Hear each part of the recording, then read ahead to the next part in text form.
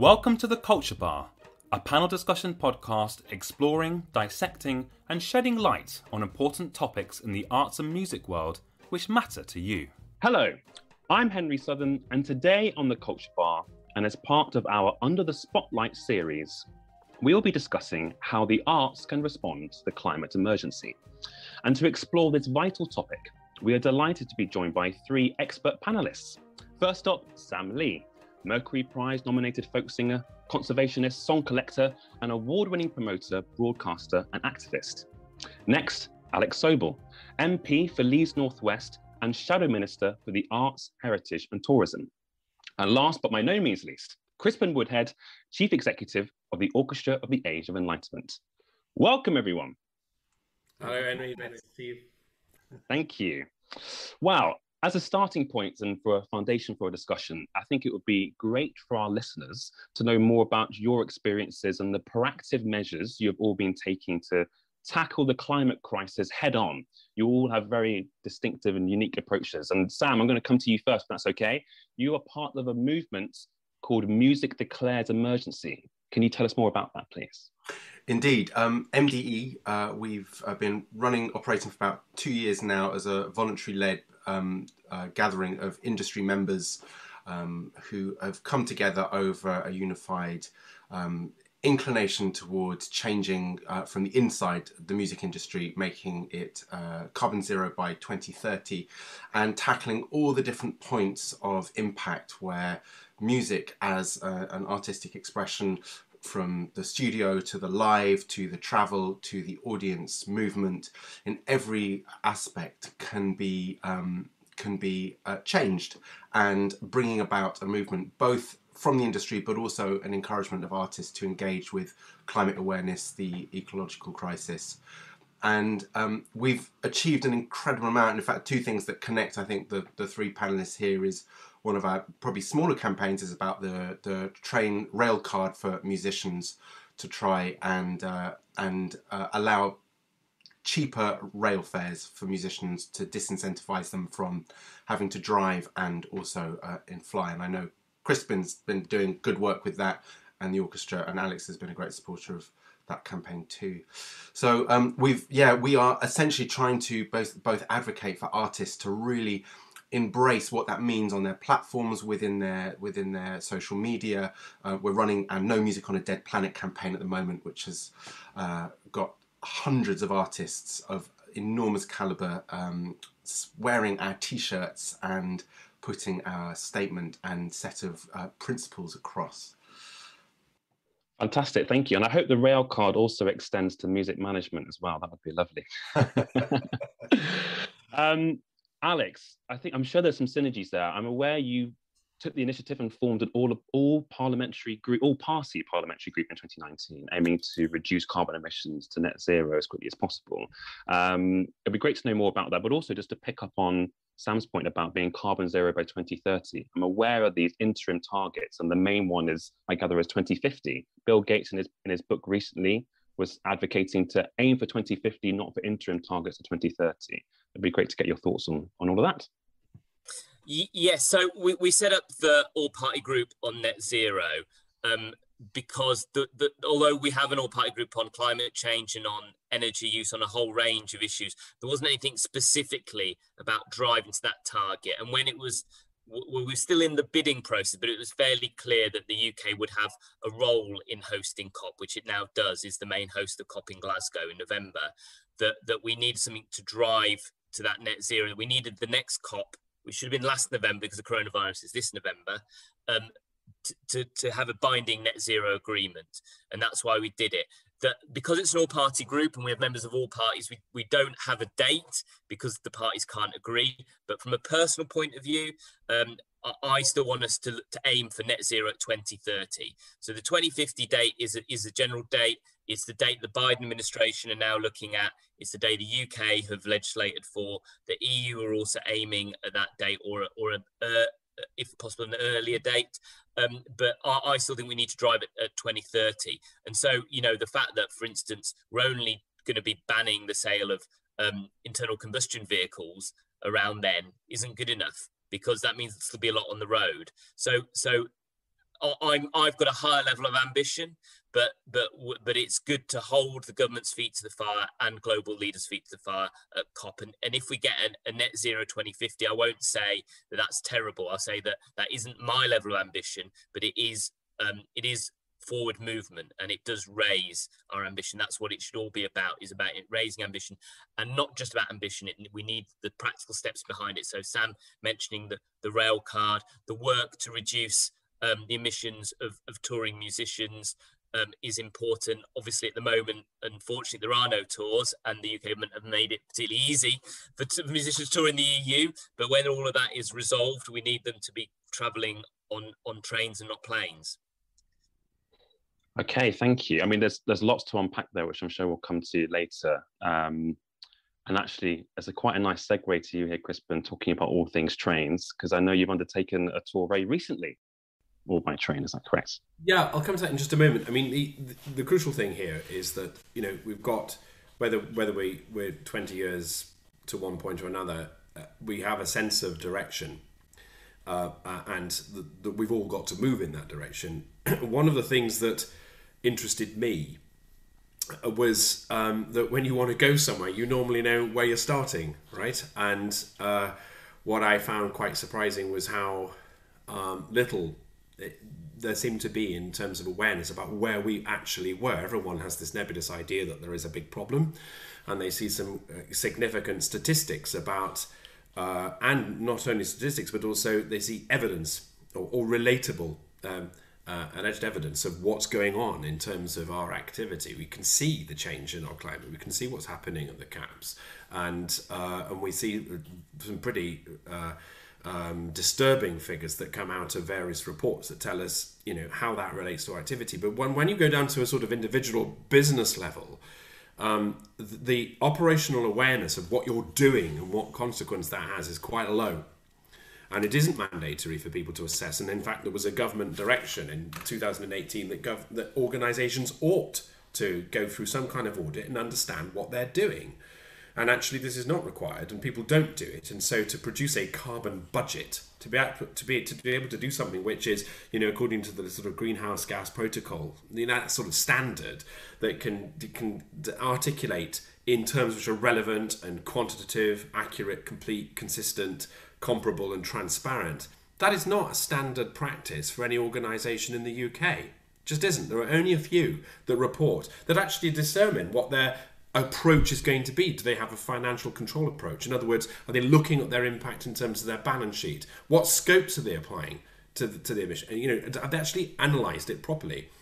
So we did this, and we didn't know how to start. We got advice from the wonderful Professor uh, Kathy Willis in Oxford, who's a leading biodiversity specialist, who was very generous with her time. She gave me the first piece of. I mean, I was babe in the woods. She said, you've got to stick to your balance sheet. And I thought, oh, that sounds a little bit punchy. But what do you mean I'm absolving others of, or myself of responsibility? And actually, it's a practical step. If you are accounting properly for what you do in terms of carbon or CO2e or environmental impact with the same diligence that you have when you go to your auditors with pounds, shillings, and pence, then it's very clear what you're doing. And then it becomes even clearer what other people need to do to fit in so that you have an interlocking pattern of responsibility around corporate activity. And that feeds into individuals and their behavior.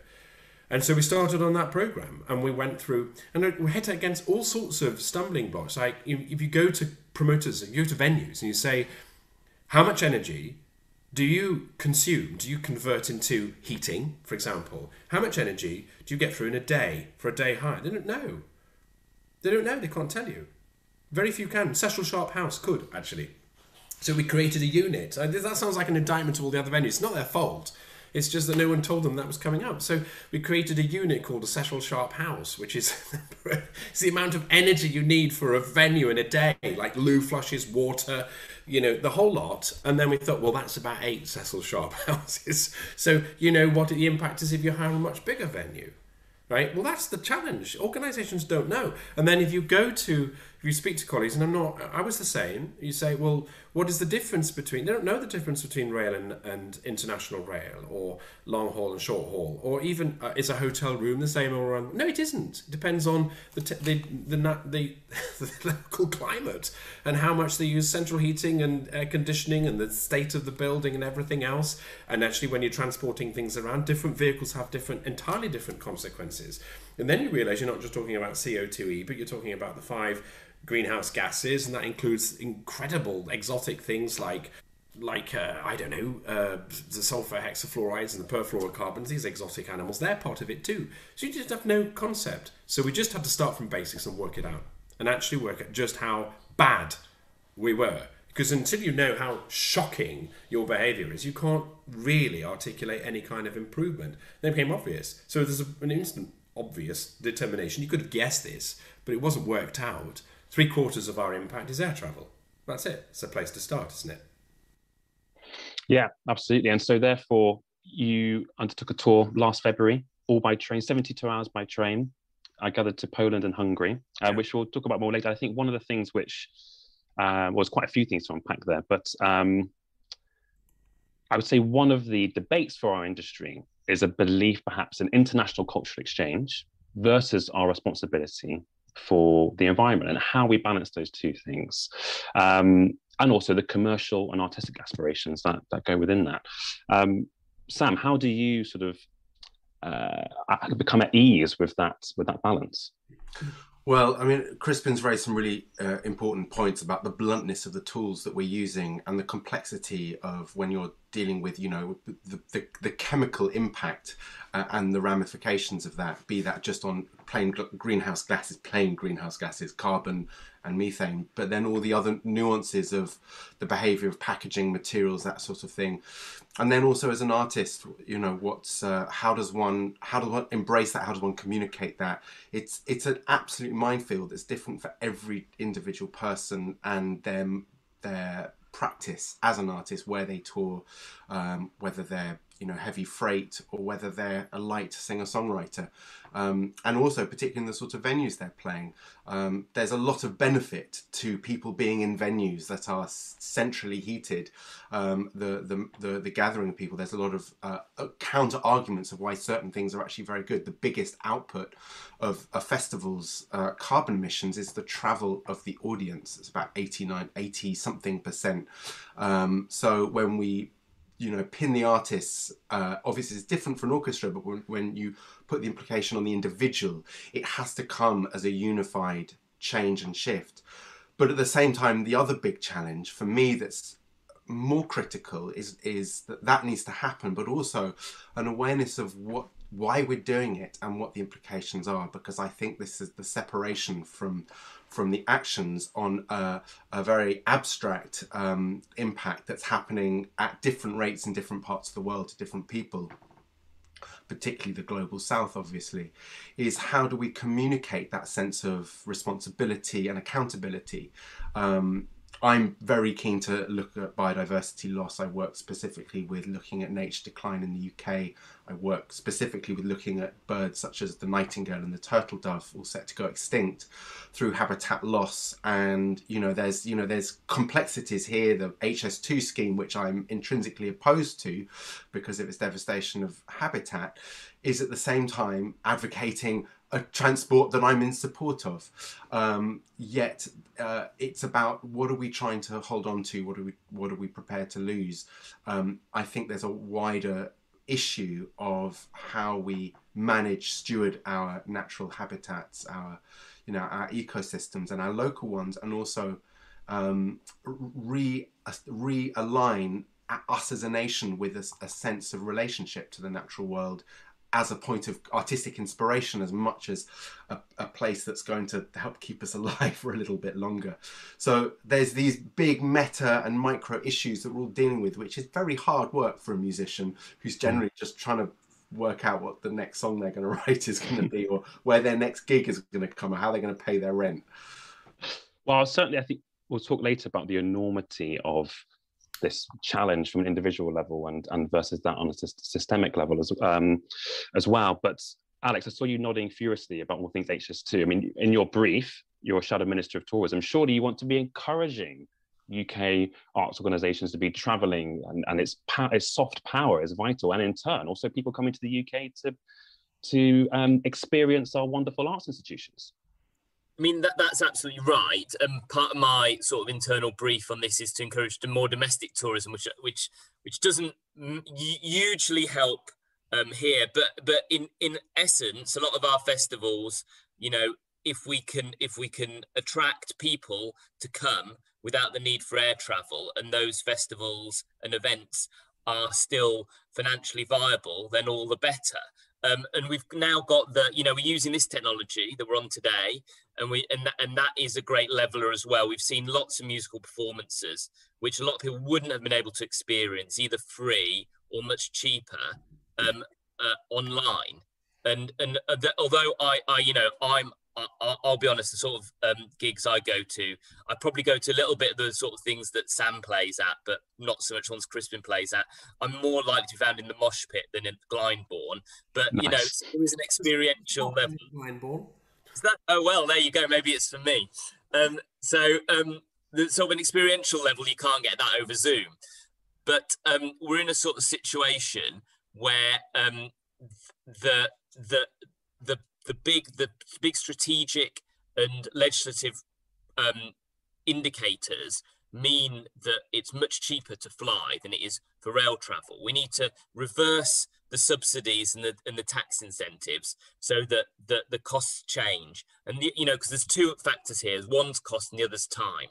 So obviously, in terms of um, time, it's never going to be quicker to go by train than it is uh, to go uh, by plane but there are ways of shortcutting some of that. Night trains is a good example. So that cuts down the need for high speed rail and utilizing uh, rail capacity, off peak rail capacity, which isn't being used during the night means that we can we can travel much greater distances. Um, we just need to refit the trains and have the have the capacity available. And it, that also would really speak to to touring musicians because if you think about it, the two elements in touring is one are the buses that take the musicians that they sleep on. The other one are the are the the trucks that take the equipment.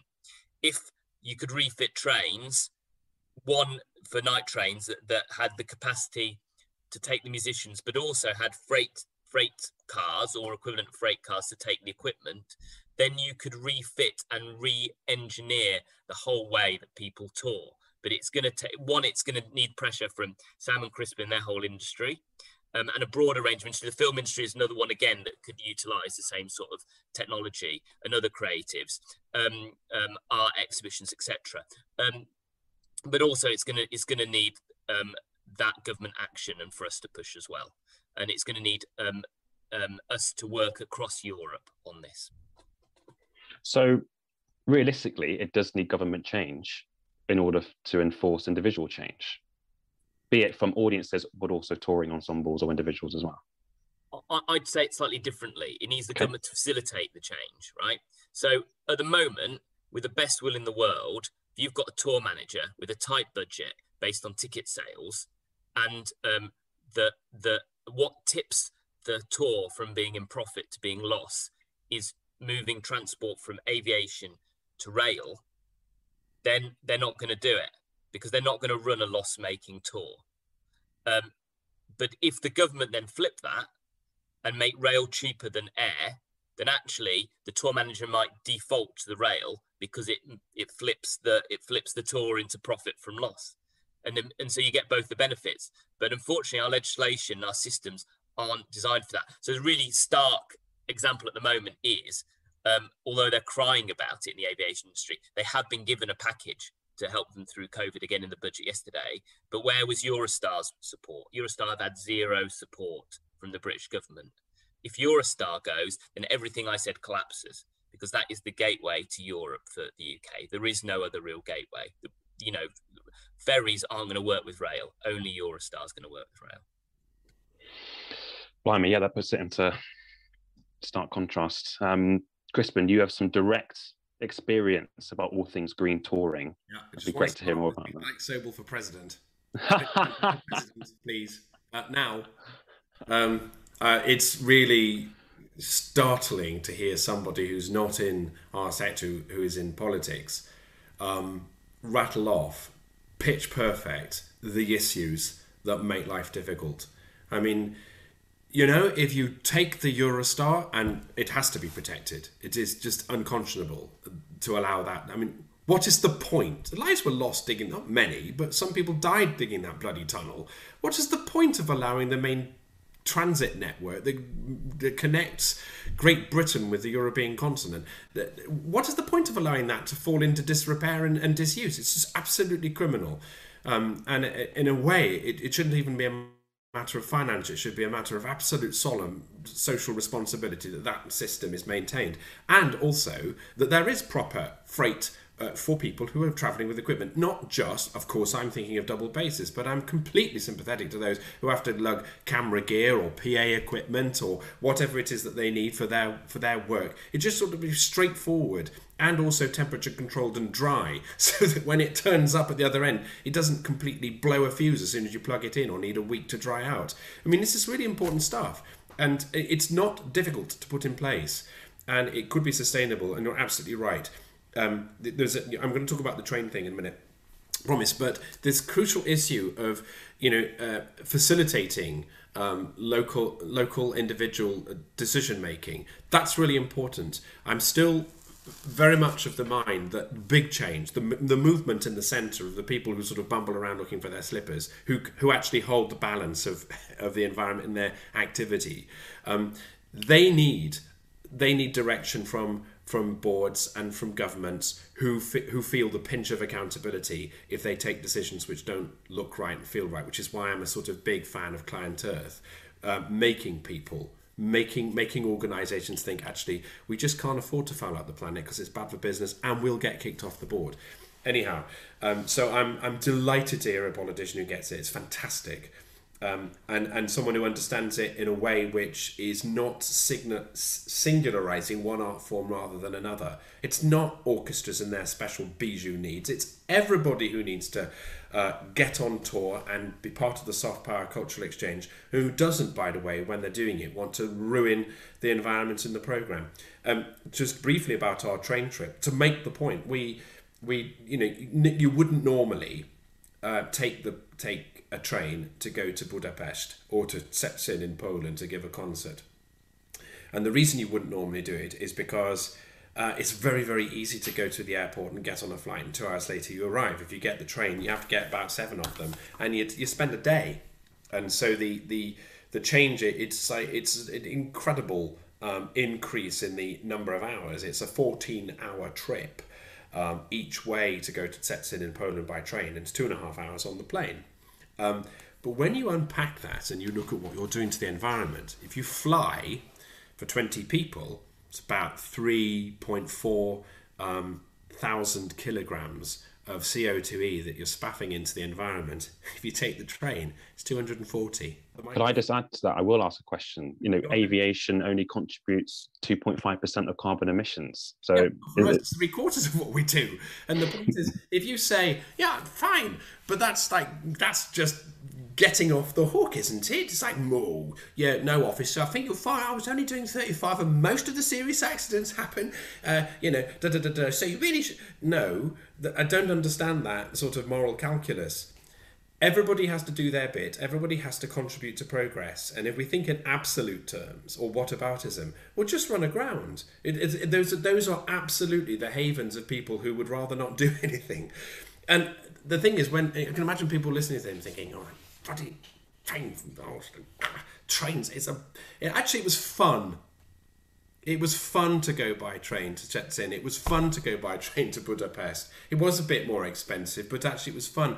And if you've got, hmm, 20 very talented people on a train together for three days or four days, could you do something of financial benefit to, to themselves and of value to the world in that time? Yes or no?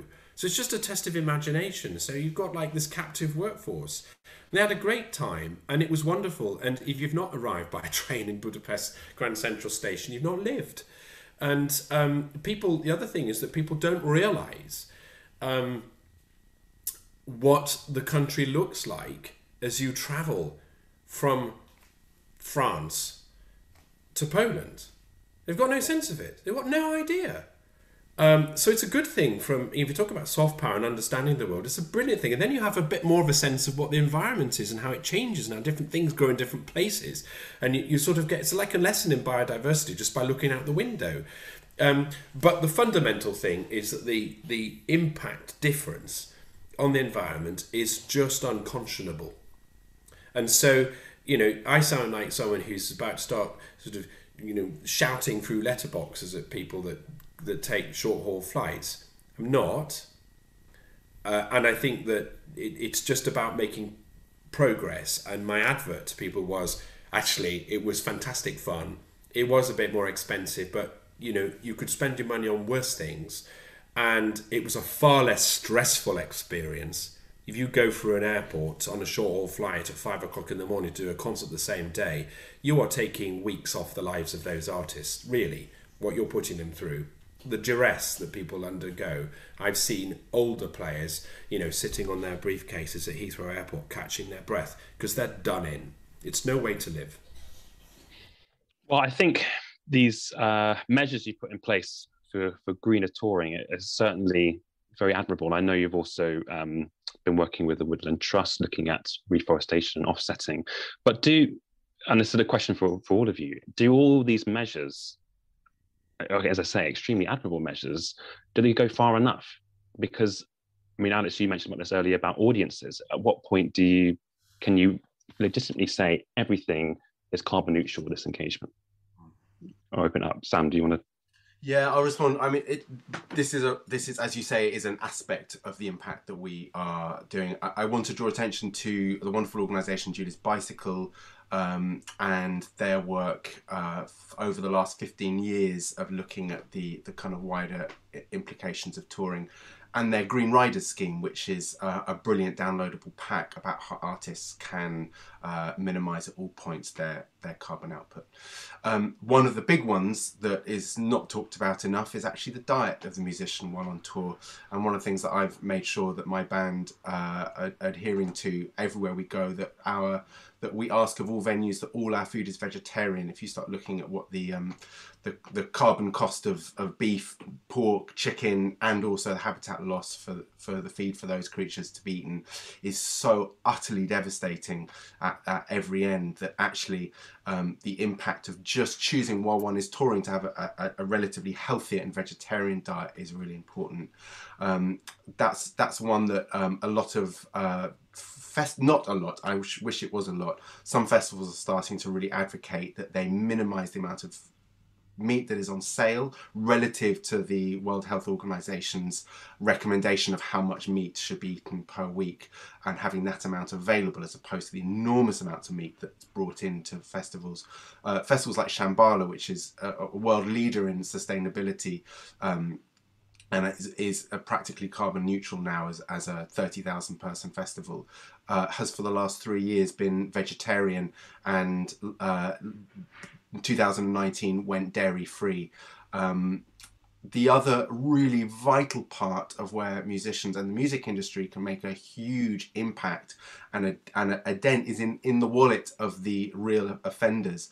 And uh, Music Declares is working on a campaign with uh, Switch It and Move Your Money, uh, encouraging musicians and organizations, record labels, arts institutions to stop banking with the real climate offenders such as Barclays, HSBC, that are uh, directly investing the money that is banked with them into fossil fuel companies. That's somewhere where you can really make, even at a small level, a massive difference about looking at where the, the economics of your of your artistic practice are going, where you're spending, who you're paying to do the work if there's more and more artists that are calling to uh, to work with uh, packaging that is um, uh, sustainably sourced, is not using enormous amounts of plastic, then the cost of those, what was generally more expensive, my record label, Cooking Vinyl, uh, charged me more back in the day to have the more sustainable packaging because of the nature of, of you know, the mass production. There wasn't simply the demand for it.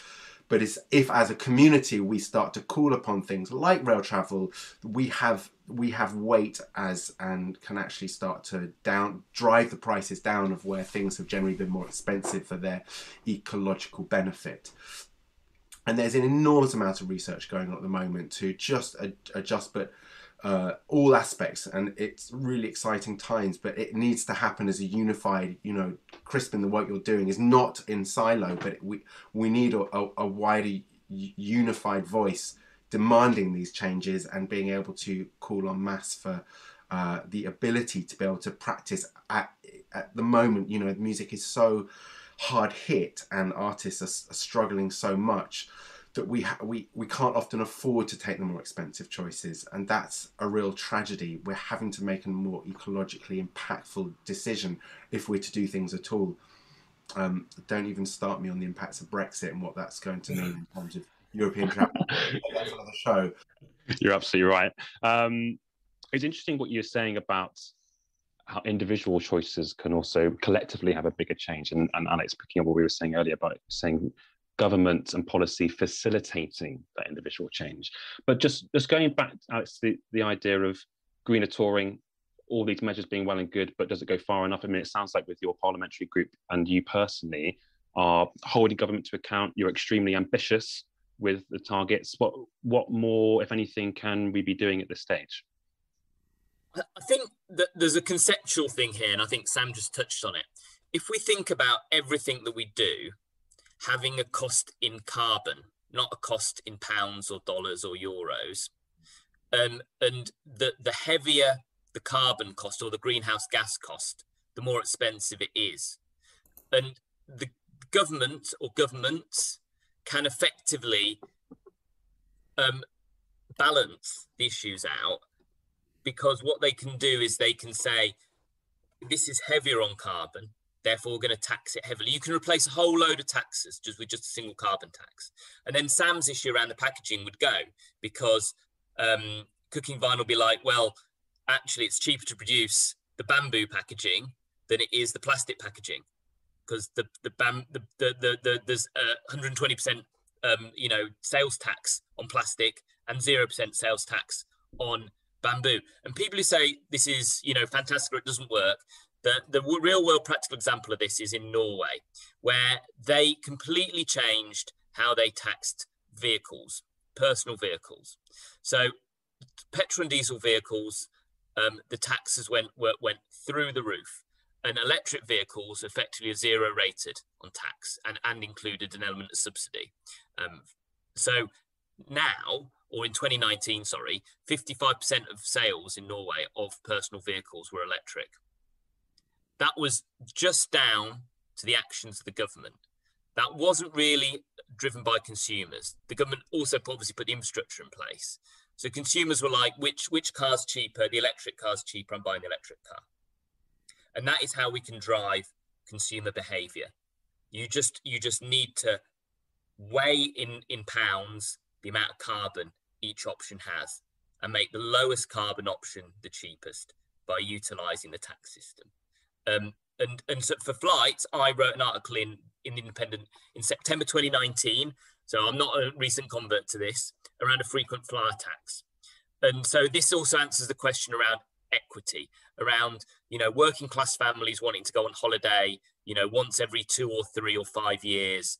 Um, that that you have a frequent flyer tax where your first flight in a period three year five year period has is is untaxed. Then your second flight is taxed more or less at the level it is now. Then your third flight is effectively you double or triple each time the flight. So if you for musicians if you go on tour that quickly makes the um, tour unviable if you're flying from destination to destination around Europe or, or, or globally. Um, but if you if you plan your tour around rail or buses and, and um, lorries, um, particularly if they're electric um, or hydrogen, um, then then obviously it will reduce the cost of the tour.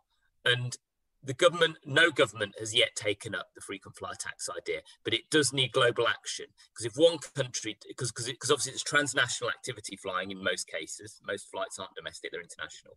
Um, but again, the COP's are a huge opportunity for this. The only thing I'd say is there's an opportunity for artists and musicians and people with a voice, either because they have fame or because they have um, locus um, to come to Glasgow in November and make that voice heard. And so I'd invite Crispin and Sam and all of their colleagues to come with me and the politicians to go to Glasgow to make that voice heard. Yeah.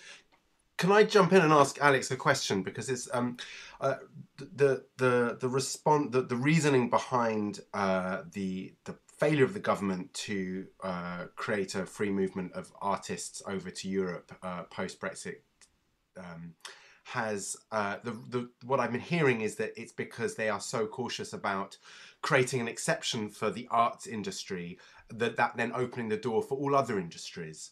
And I wonder how that works with um, you know with why should why should the arts get privileged treatment this is a contentious question coming from why should the arts get privileged treatment in you know in in uh, lower taxes on flights and, and, and other industries which are also keeping the economy going and bringing pleasure to people's lives not have that same uh, privilege, if that makes sense.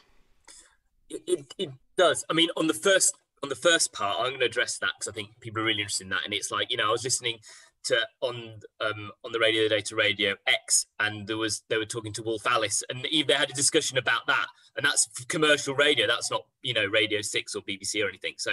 Um, so um, I was I was on the phone when this was going through Parliament having a debate, um, talking to Stuart Murdoch and Belle and Sebastian about this, and the and the the issue is is that the, is is that it's it's multifaceted. So it's not it's not solely around um, around the, the, the work permit issue.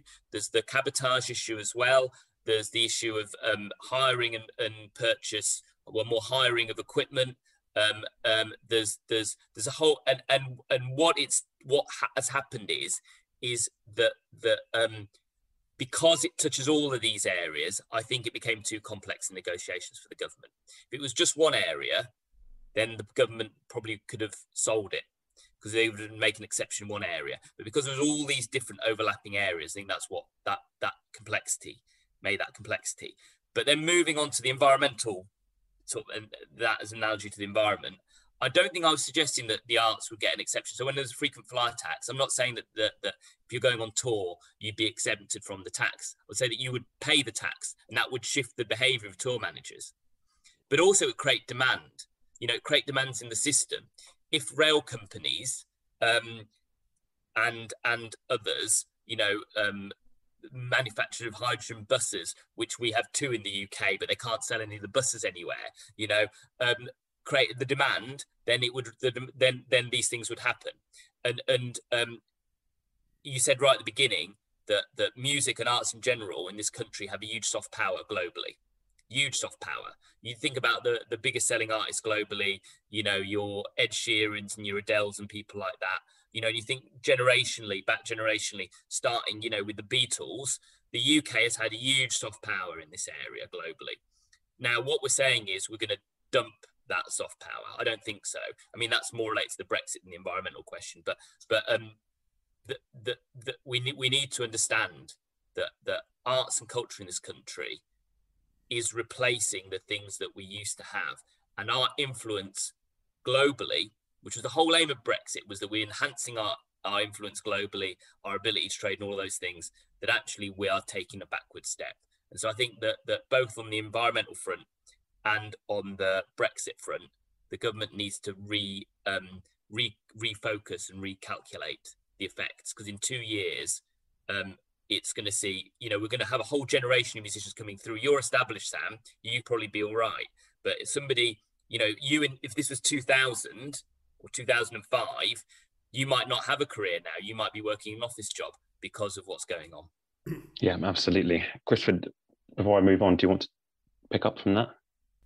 I think there's possibly potential to look at because uh, I wouldn't want um, I wouldn't want the uh, any kind of preferential treatment of the arts to then be counterproductive either to uh, political progress or indeed to the uh, the welfare of uh, people who work in culture. I, my feeling is that the sort of guidelines, maybe one way to look at this, is to look at not for profit and look at uh, cultural activity, including sport, as a group, because I think that's much easier for people to understand. uh, if these people are not making a profit, they're not allowed to make profit. They work as charitable entities and they're working in a sector which relates to everybody. Then I think it's much easier to see that as a group, and I think it's much easier then to relate that to the sort of um, cultural, um, if you like, national relevance that we have. Um, all great states look after the people who do those things.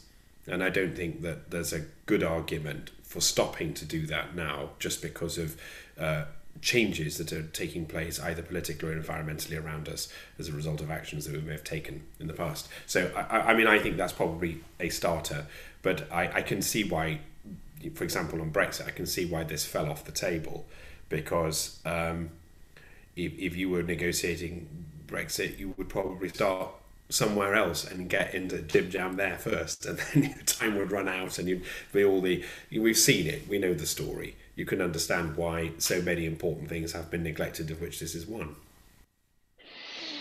Yes, absolutely. Well, as we near towards the end, I'm going to endeavour to try and see if we can finish on some semi-positive note. Um, or you might disagree, but I it's been said that the pandemic is a dress rehearsal for the climate emergency.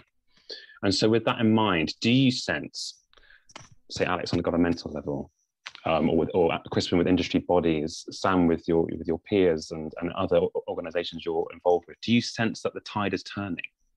I hope the answer is yes. Hence why I'm asking for a positive note. But um, go for it. Tell me what, what's what's it like on the front line at the moment. You want me to start first? I mean, I think that that that um, one of the lessons of the pandemic is how quickly human behaviour can change.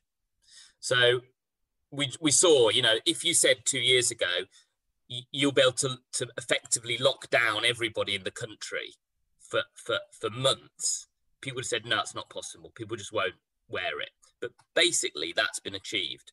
Now, the thing is, is that there isn't the, the problem with the climate emergency. It's it's it's like it's like a it's a slow motion pandemic it's going to take a long, long time and, you know, sort of descending into it. And so the urgency isn't there. So you need to create the urgency. Um, I don't think the government's doing that. I think that we all have responsibility to try and create that urgency. And I, I feel that, that I'm doing that. I certainly feel that Chris and Sam doing that after meeting them today, but we all need to do to create that urgency to, to get those, to get that, that mentality across and then for the government to respond to it in kind. I think that's where we are. But i my view is things can change very quickly. And the biggest event that's happened recently that gives me hope is the the win in, in America of, of Joe Biden and that complete transformation of views on the climate, the appointment of John Kerry as the as the envoy. You know, um, I, I had a meeting with John Kerry last week. Not not like this. There was a few more of us. I don't I don't I'm not like quite operating on that level where I have like small meetings with John Kerry. But um um and you know John Kerry said you know th- this you know that the COP is our last best chance to avoid catastrophic climate change. Nobody in the Trump administration would have got anywhere within a million miles of that. I don't think our government is, is quite there. They're in like the league below. You know, if John Kerry's in the Premier League, then you know our government's in the championship using the sports analogy. And we need to get into the premier league particularly as cop president. So I, I think that one things can change very quickly. And two i think that there's um, room for optimism but but that urgency is really needed. Crispin do you want to go next? Um one of the problems, yes, it, I, I, think it's true. It's a just as I completely agree with what Alex says that um, you know it's remarkable how people can change in their behaviour. I keep thinking of smoking and how attitudes to smoking have changed completely. I mean, I know there's a lot of vaping, and you know that, that it's sort of sideways. There's been a sideways move, but you know, you, in that you see sort of imagination and technology and industry taking a taking up the baton. And I think Alex, you were pointing to that, weren't you? Saying that if you if you drive taxes, what you'll do is you'll stimulate another area of the economy, which will take up the slack and give people the advantage that they've lost in the one that you want to defavorize. So I think that that that all makes sense to me that we can change behavior. If we're looking specifically at at, at, at COVID, you know, it is you know it's good to look at the positives that have come out of it. Uh, but let's not ignore the mountain of absolute manure that it dropped on everybody. And, um, you know, I'm not going to be some poor bleeding heart about the arts because I don't think the arts are, are served by people whinging. Uh, actually, I think we just have to get on and work and be positive and serve. Um, uh, and I don't think you should be in the arts unless you're interested in service. But um, nonetheless, for anyone in that in, in operating that sector um, or a similar one, and you know there are many, and they don't have to be charitable.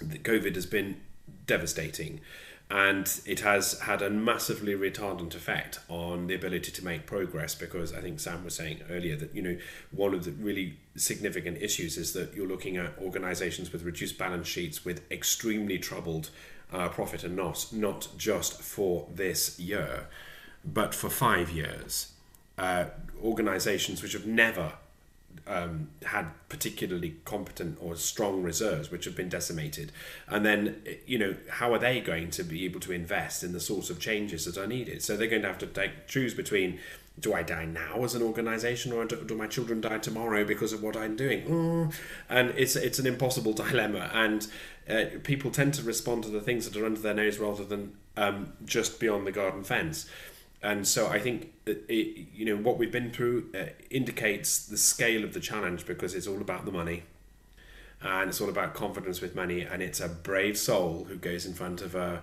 um, a board that has its its standard expectations of fiduciary responsibility, and then says, "I think we should be spending more at the moment," when all they can see is a downward line.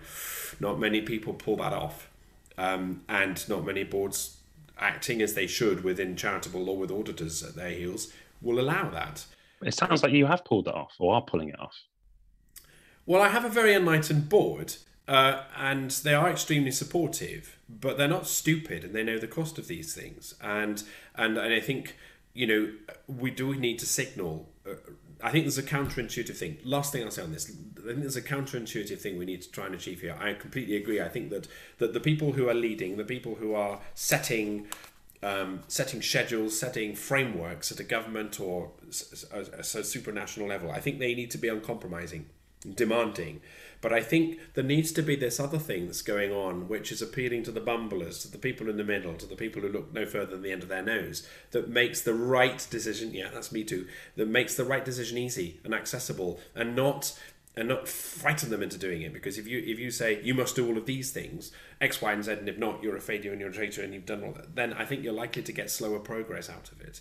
Um, you know, which, is why I also think we need to be very careful about, even though it might be a great statement, I'm very nervous about making statements like carbon zero and carbon neutral about even the OAE. I, I think that's dangerous, and I think that people could get into a bad habit of thinking they write a check to the Woodland Trust, which is a great organisation, and suddenly they're off the hook, like the system of Catholic indulgences. I think everybody needs to get wise to what they're doing and be part of a consistent program like the shift of culture around smoking, for example, um, and the, the improvement in, in trends towards uh, equality and dignity in the workplace. That you just keep bringing everybody in with rational, inclusive arguments until they're just doing the right thing with a shove from the top.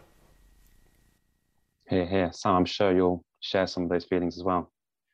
Yeah, absolutely. Um, and and maybe the what I can add here is a, a sense of long termism and, and, and darkness and lightness, just you know, in response to the, the initial question.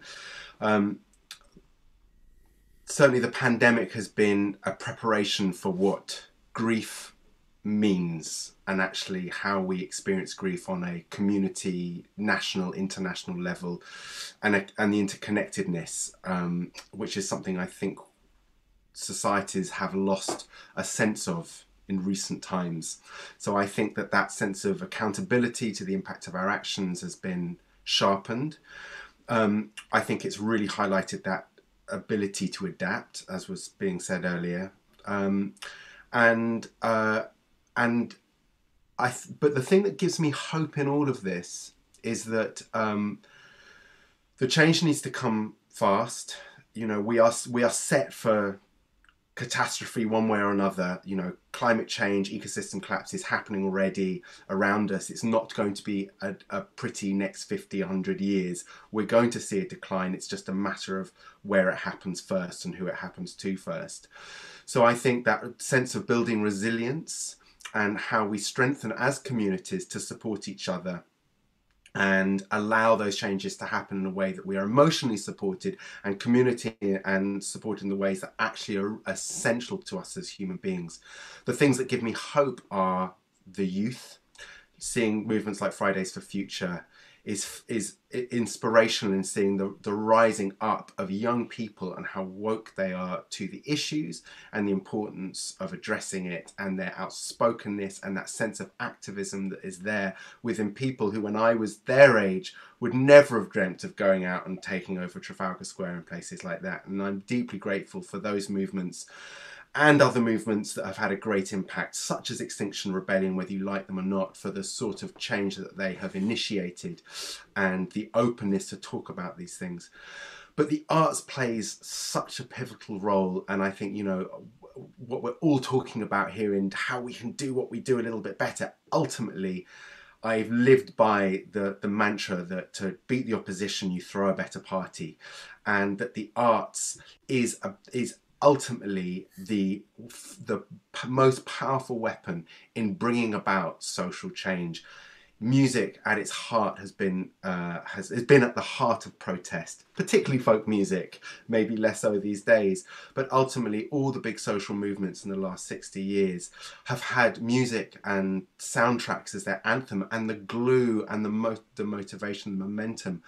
And if we can if we can turn those powerful machines and those artists and those platforms into the direction of normalizing the changes that need to happen and the shift that people need to make and the sacrifices that people need to bring into their lives supported by government then I think the arts is going to be uh, is going to be one of the most you know yeah one of the most powerful influences as the other saying I love which is that culture eats strategy for breakfast.